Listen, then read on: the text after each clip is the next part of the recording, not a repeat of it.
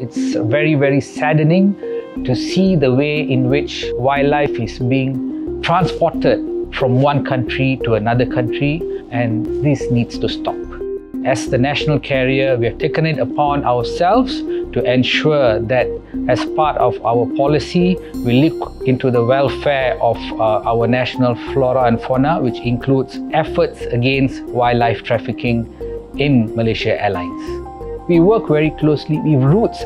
They have trained our employees on how to detect wildlife, uh, how to report, and what needs to be done as well.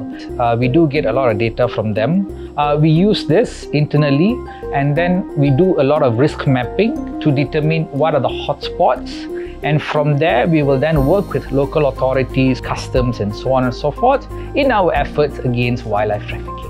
Uh, this is an ongoing effort and, and we are very proud to say that our efforts in championing uh, wildlife trafficking is positive.